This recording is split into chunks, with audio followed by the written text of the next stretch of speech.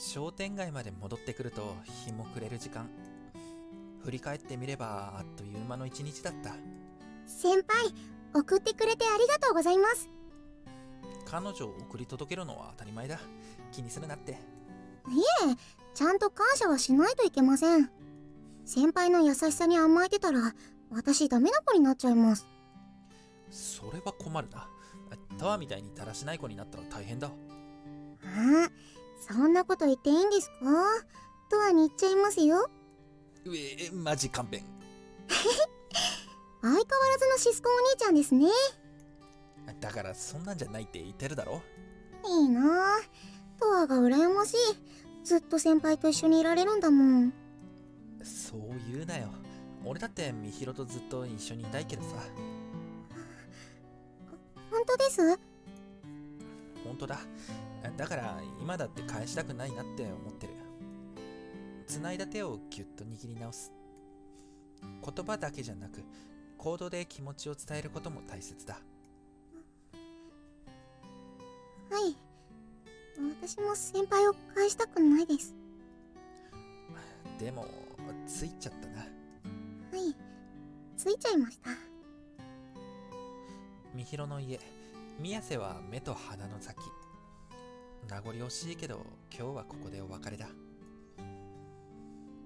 じゃあなまた夜に電話やメールするから。はい待ってます。それよりそのもじもじと落ち着きのない様子。みひろが何を求めているのかすぐに思い当たる。さりげなく周囲を確認。人目はないみひろ。お別れの挨拶。優しくキスをする。甘いリップの香りと混じってかすかに感じるみひろの味。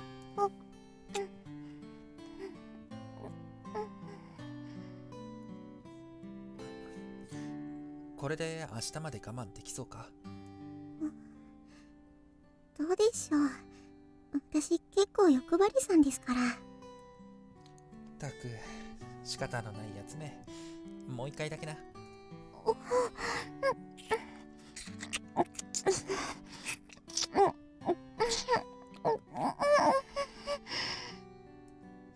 軽く舌を絡ませてくるもっと欲しいと必死に背伸びをしながら俺を求める。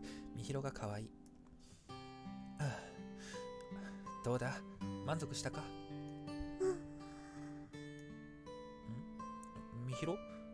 どうした？うわーなんでもないです。は一瞬ぼーっとしてたな。すぐにいつも通りのみひろに戻ったけど何か考え事でもしてたんだろうか。ーありがとうございました。それでは先輩お疲れ様です。ああまたな。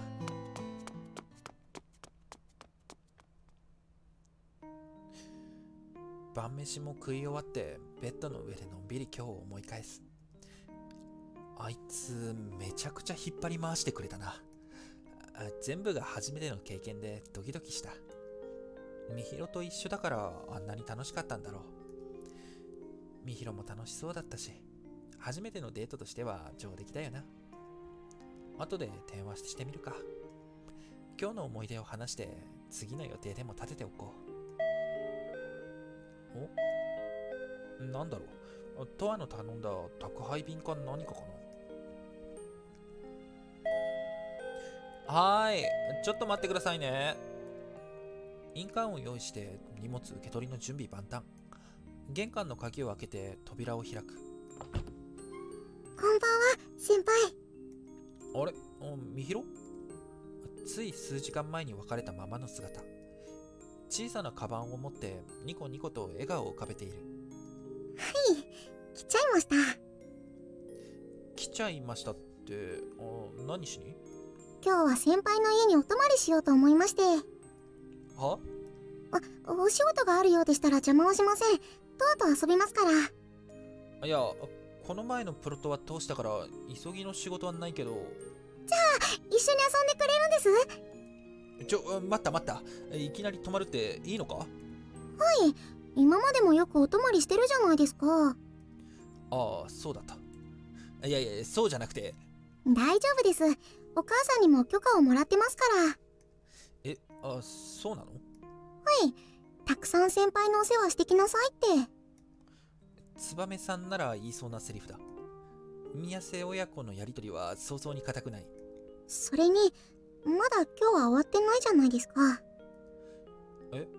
今日は一日何うこと聞いてくれる約束でしたよね。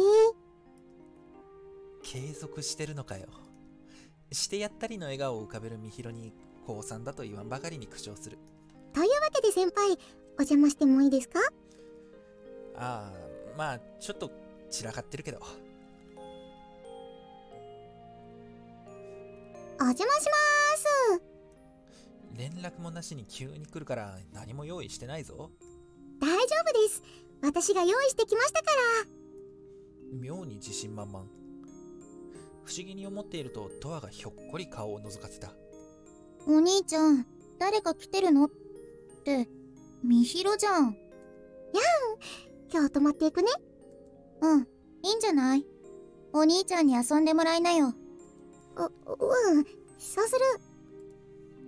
お菓子とジュースを持って部屋に引き上げていくとは相変わらずマイペースなやつだった。もうご飯は食べちゃいました？ああさっき食べ終わったとこ。じゃあちょっとお茶でも飲みません？家から紅茶を持ってきましたので。おあマジか。サンキュー。いつもインスタントのコーヒーばっかりだから嬉しいな。紅茶も好きなんだけど入れるのがちょっと面倒で避けてしまっていた。すぐ準備しますからちょっと待っててください。あそれから。おキッチンに向かわず俺の目の前にやってくるみひろあれつけてきちゃいました。背伸びして耳元でそっとささやく。俺を見上げる視線はかすかに熱を帯びていた。あれってあ言葉の意味を理解するのに一瞬の間が。あれつける？という言葉から連想するもの思い当たるのは昼間に俺がみひろのために選んだ下着。では座って待っててくださいね。どうして今そんなことを伝えてきたのか。つまりみひろなりの宣戦布告だ。マジですか？マジですか？眠れないみひろが家に泊まるなんて今までだって何回もあったのに。壁の向こうにみひろがいるって考えるとどうにも目が冴えてしまっていた。お？今何か物音がしたような。先輩。大声を出しそうになるのを慌ててこらえる。ここ俺の部屋だぞ。知ってます部屋を間違えたわけじゃありません。あじゃああ何してるんだよ？予売に来ました。は？先輩に私のこともらってほしくて。心臓がドキッと跳ねる。え俺を見つめるみひろの瞳にえ吸い込まれてしまいそうな気がした。お前え震えてるぞ。気のせいです肌寒いからじゃないですか？嘘つけ。あ無理してるんじゃないのか？うん。してますよ。無理してるに決まってるじゃないですか。怖いですよ。ちゃんとできるか失敗したらどうしようって不安でたまらないです。今日だって先輩がその気になってくれるようにたくさん頑張りました。ドキドキして恥ずかしかったけど私一生懸命頑張ったんです。みひろ先輩私の今日最後のわがまま聞いてもらえますか？小さな体で必死に勇気を振り絞って俺のために気持ちを示してくれた。それだけで胸がいっぱいになる。ったくそういうのは男の役目だろうが。み美弘を抱き寄せる。もうこれ以上は抑えきれそうにない。みひろのわがまま聞いてやる。してほしいことを全部教えてくれ。はい。よろしくお願いします。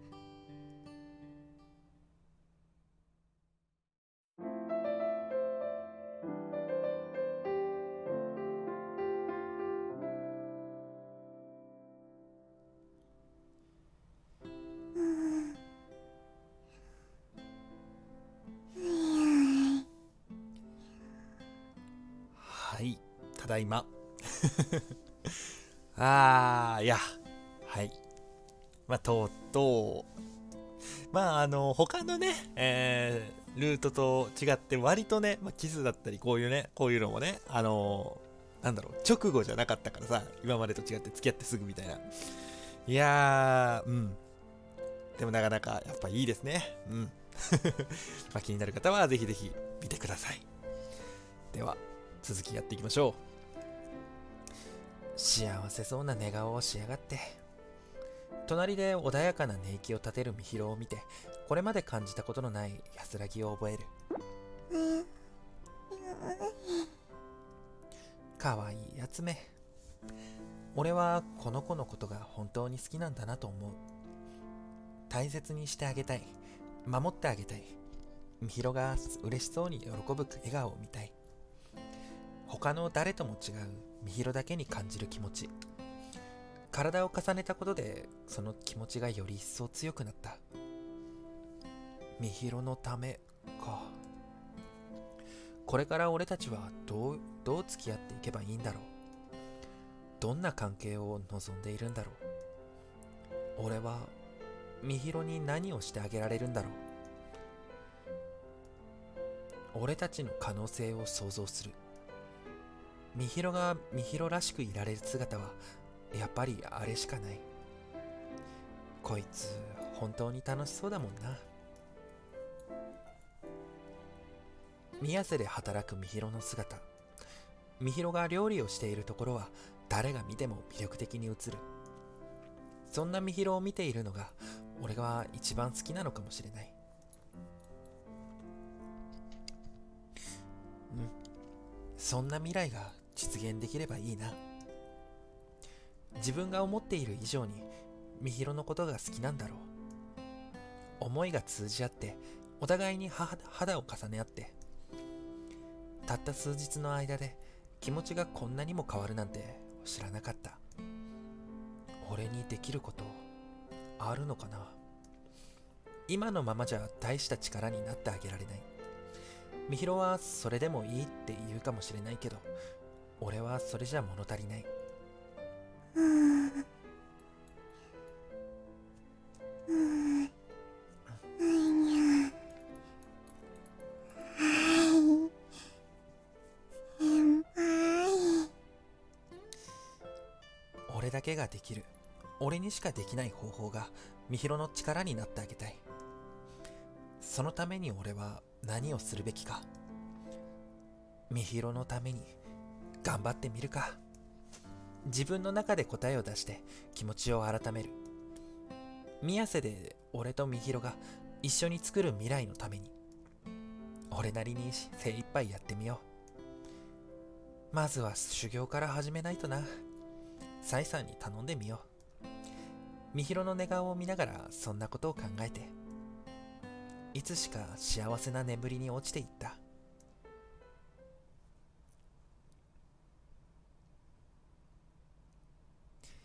7月25日日曜日。